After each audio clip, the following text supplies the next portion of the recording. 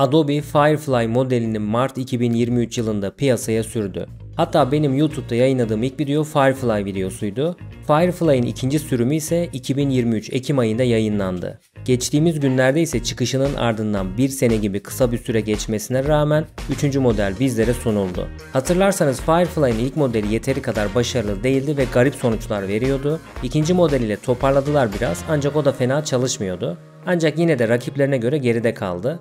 Şimdi 3. model ile olumlu bir gelişme yaşandı. En azından kullanıcı yorumları bu şekilde ve şu aşamada Adobe bu güncelleme ile sağlara geri döndü diyebilirim. Bu videoda Firefly 3 modelini detaylıca inceleyeceğiz ve Firefly 2 modeliyle karşılaştırmasını yapacağız. Bu arada bu model bir ön izleme modeli yani bir nevi demo gibi düşünebilirsiniz. Adobe'nin Firefly yapay zekasını ve diğer uygulamalarını kullanmak için Creative Cloud üyeliği gerekli. Son dönemde Adobe bir kredi sistemine geçti ve Creative Cloud üyelerine aylık 1000 kredi tanımlıyor. 1000 kredi sonrası ekstra kredi almanız lazım. Şimdilik 1000 krediniz bitse bile Firefly kullanmaya devam edebiliyorsunuz ancak bu geçici bir durum. Ücretsiz üyelikte ise maalesef aylık 25 kredi tanımlıyor. Çok az bir rakam en azından bu kredinin günlük olması gerekiyordu. Normalde kullanıcı odaklı olan Adobe'ye yakışmayan bir davranış olmuş diyebilirim. Bu arada Firefly 3'ü Photoshop Beta'da kullanabiliyoruz. Bununla alakalı ileride ayrı bir video hazırlamayı düşünüyorum. Şimdi Firefly 3 ile neler yapılabiliyor? Önce özelliklerine bakalım. Sonra ise çeşitli istemler aracılığıyla gelişimini test edelim. Web sürümüne baktığımızda metinden görsel oluşturmanın yanı sıra yüklediğimiz ya da oluşturduğumuz görseller içerisinde istediğimiz yeri düzenleyebildiğimiz üretken dolgu, çeşitli metin efektleri oluşturabileceğimiz ayrı bir bölüm mevcut. Bununla birlikte şu aşamada bu özelliklerden ilgili olanları Photoshop ve Illustrator uygulamalarında da kullanabiliyoruz. Şimdi metinden görsel üretebileceğimiz bölüme detaylıca göz atalım. Sol taraftaki menüde düzenleme ve görsellerimize çeşitli efektler ekleyebileceğimiz zengin bir bölüm mevcut. Üst tarafta modeli seçebiliyoruz. Yeni gelen Firefly 3 ön izleme modeli ile bir önceki model olan Firefly 2'yi seçebiliyoruz. Hemen alt tarafta içeriğin türünü seçebiliyoruz. Resim, daha çizgisel ve sanatsal iken fotoğraf ile gerçekçi görseller üretebiliriz. Alt tarafta ise yapı kısmı var. Bu güçlü özelliklerden birisi. İsterseniz kendiniz görüntü yükleyebilirsiniz. Burada seçilen görselin fiziki özelliğine, yapısına göre yeni oluşturduğunuz görseli de ona benzetmeye çalışıyor. Illusion Diffusion mantığında çalışıyor. Ayrıca bu özelliğin ne kadar uygulanabileceğini de belirleyebiliyorsunuz. Güçlü özelliklerden birisi ciddi anlamda yaratıcı ve güzel görseller ortaya çıkarabilirsiniz. Bir alta geldiğimizde ise stiller var. Yapı kısmında olduğu gibi ister kendiniz görsel yükleyin, ister buradaki stillerden birisini kullanın. Burada yapı kısmından farklı olarak seçilen görselin rengini, oluşturma tarzı gibi özelliklerini kopyalıyor. Diyelim ki neon bir referans görüntüsü aldığınızda yeni oluşturduğunuzda neon görünümünde olacak ya da sulu boya ile oluşturulan bir görseli referans aldığınızda görseliniz sulu boya olacak. Bu özellik çok başarılı çalışıyor mutlaka deneyin. Son olarak en alt kısımda ise çeşitli efektler ekleyebilirsiniz. Bir konsept seçebilir, renk ve ton belirleyebilir, ışığa kadar detaylıca ayarlama yapabilirsiniz. Gerçekten çok zengin ayarlama seçenekleri mevcut.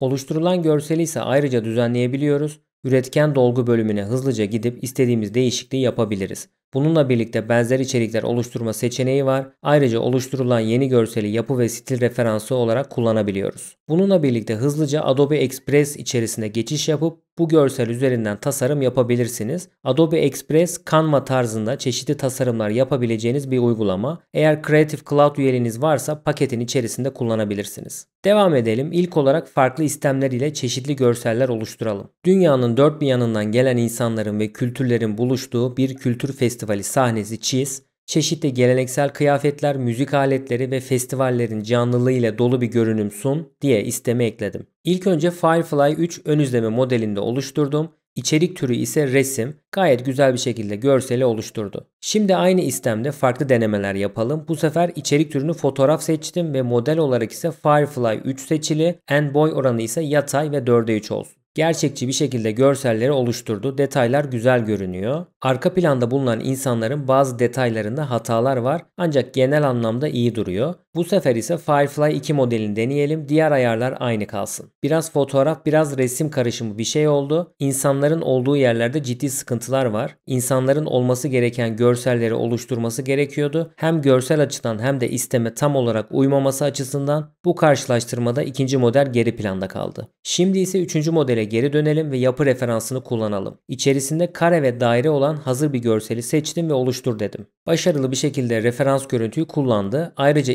istemede sadık kaldı. Ancak yine arka planda olan insanların yüzlerinde sıkıntı var. Ön planda olan kişiler ise güzel duruyor. Şimdi ise stil referansını deneyelim. Referans alacağı görseli seçtim ve oluştur dedim. Yine çok başarılı bir şekilde referans aldığımız görselin tarzını ve stilini kullanarak istemi oluşturdu. Bu sefer ise neon stilini kullanalım. Neon görselini seçtim ve yine harika bir şekilde oluşturdu. İsteme tam olarak uymasa da istemin ana fikrine uymaya çalışmış. Zaten istem ile stil alakasız bence gayet iyi iş çıkardı. Şimdi bir diğer isteme gelelim. 3 farklı kültürel arka plana sahip bireylerin ellerinin birleştiği bir anı çiz. Her el farklı geleneksel takılar veya aksesuarlarla süslenmiş olsun. Bu da her kişinin kökenini simgeliyor. Elin detaylarına odaklan, özellikle deri dokuları, takıların incelikleri ve nasıl bir araya geldiklerini vurgula. Bu görüntü çeşitlilik içinde birlik ve uyumun güzel bir simgesi olmalıdır diye istemi girdim. Firefly 3 ön izleme modeli seçili, içerik türü fotoğraf, en boy oranı ise geniş ekran 16'ya 9 olsun. Görselleri oluşturdu, hatalar var ancak genel anlamda başarılı diyebilirim. Eski versiyonlarda ellerde ciddi problem yaşanıyordu. El görüntüsü oluşturmada görsel tabanlı yapay zekalar çok zorlanıyor.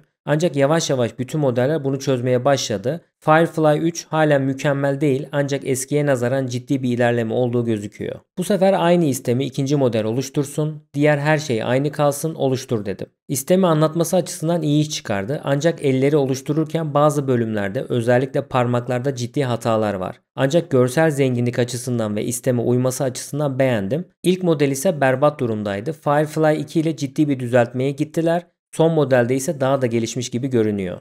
Tekrar 3. modele geri dönelim. Bu sefer efekt ekleyelim. Bakalım şimdi nasıl olacak. Hiper realist efektini ekledim ve oluştur dedim. Bu sefer kötü iş çıkardı. Ellerde ve parmaklarda ciddi dengesizlikler var. İkinci ve üçüncü görselde ise daha iyi görünüyor. Fena değil burada. İstemi güzel bir şekilde yansıtmış ancak tam olarak hiper gerçekçi diyemeyiz. Dördüncü görselde ise ilk görselde olduğu gibi dengesizlikler mevcut. Burada gerçekçi görünüyor ancak parmaklarda ciddi sıkıntılar var. Sanki efekt olmadan sadece fotoğraf modunda daha iyi çalıştı diyebilirim. Bu sefer modeli değiştirelim ve diğer her şey aynı kalsın. İsteme uyum sağladı, sanatsal görünüyor ancak yine parmaklarda ciddi hatalar var. Fotoğraf ve hiper gerçekçilik efekti çalışmamış. Tekrar 3. modele dönelim. Bu sefer efektleri dijital resim, canlı renkler, dramatik aydınlatma ve çekim açısını ise yakın çekim yaptım. Bakalım şimdi nasıl görünecek. İlk görsel güzel ancak her zamanki gibi parmaklarda hata var. İkinci görselde ise hata oranı ciddi oranda daha az ve iyi görünüyor. Üçüncü görsele geldiğimizde ise güzel olmuş, hataları var ancak bu detaylı bakınca anlaşılıyor. Dördüncü görselde ise gayet iyi iş çıkardı. Bunda da hatalar yok denecek kadar az ancak iyi görünüyor. Şimdi son bir istem daha gireceğim. Bu sefer bir portre oluşturalım. Bakalım modeller nasıl davranacak. Kar yağışı altında kalın bir kışlık kıyafet giymiş bir kişinin portresini çiz. Bu kişi kürklü bir kapşon ve sıcak tutan bir atkı giymiş olabilir. Yüzünde kışın getirdiği huzur ve memnuniyet ifadesi belirgin olsun. Arka planda kar tanelerinin hafifçe düştüğü ve karla kaplı ağaçların bulunduğu sessiz ve huzurlu bir manzara yer alsın diye istemi girdim ve model olarak Firefly 3 ön izleme modeli seçili. En boy oranı ise dikey ve 3'e 4 seçtim. İçerik türünü ise fotoğraf yaptım. Bakalım neler çıkacak ortaya. Gayet başarılı bir şekilde oluşturdu. Detayları güzel. Bununla birlikte isteme uygun bir şekilde portreleri ortaya çıkardı. Örneğin istem içerisinde yüzde huzur ve memnuniyet ifadesi geçiyor. Karakterler bütün görseller içerisinde gayet mutlu görünüyorlar. Bu sefer ikinci modeli seçelim bakalım o nasıl olacak. Fena değil ancak üçüncü modele göre yapay görünüyor. Sanki yeşil perde ile çekim yapılmış arkaya eklenmiş gibi. Ancak kötü diyemem. Yüz detayları güzel görünüyor.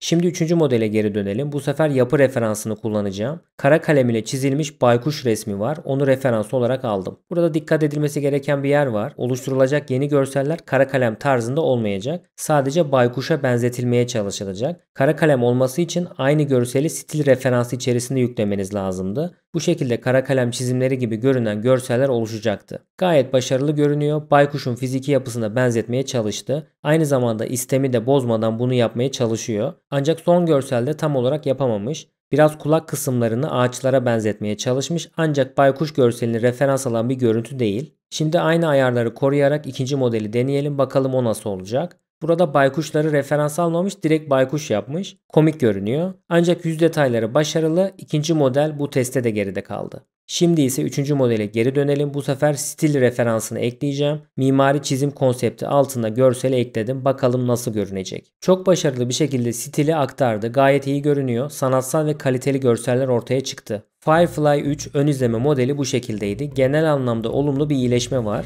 Tabii ki bu tam sürüm değil. Bu sebeple tam sürüm çıkınca daha iyi olacaktır. Firefly bu güncellemesiyle beni şaşırttı. Adobe'den biraz da olsa umudu kesmiştim. Bu model ile tekrar yarışa dahil oldular. Yapı ve stil kullanımı, gerçekçi fotoğraf oluşturmadaki kalitesi, özellikle Photoshop içerisindeki generatif fil özelliği daha stabil ve oturaklı çalışıyor. Bu yüzden gelecek açısından pozitif etki oluşturdu diyebilirim. Tabii ki halen Midjourney'e rakip olamaz. Şu aşamada Midjourney ayarında bir model yok. Sadece yaklaşabiliyorlar. Mesela Leonardo AI ve DALL-E de güzel işler çıkarıyor. Bunun gibi birçok güçlü model var. Daha alınacak çok yol var gibi görünüyor. Çünkü Midjourney gibi akıl almaz kalitede görseller üreten bir rakibi var. Zaten ortaya atılan iddialara göre Firefly 3 Midjourney ile eğitilmiş. Yani Midjourney ile üretilen görseller Firefly 3'ü eğitmiş diyebiliriz. Bir videonun daha sonuna geldik. Videoyu beğenmeyi ve kanala abone olmayı unutmayın. Beni diğer sosyal medya platformlarından da takip edebilirsiniz. Özellikle X platformunda anlık yapay zeka paylaşımları yapıyorum. Ben Ömer Coşkun. Bir sonraki videoda görüşmek üzere. Kendinize iyi bakın.